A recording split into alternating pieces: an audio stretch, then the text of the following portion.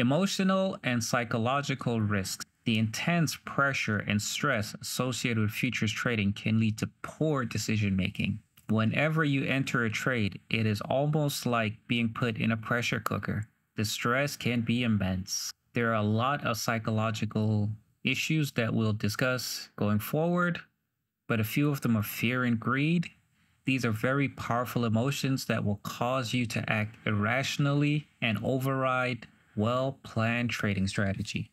We have to remember to keep these emotional, these psychological aspect of our trading in order because it will be the hardest thing that you ever have to do.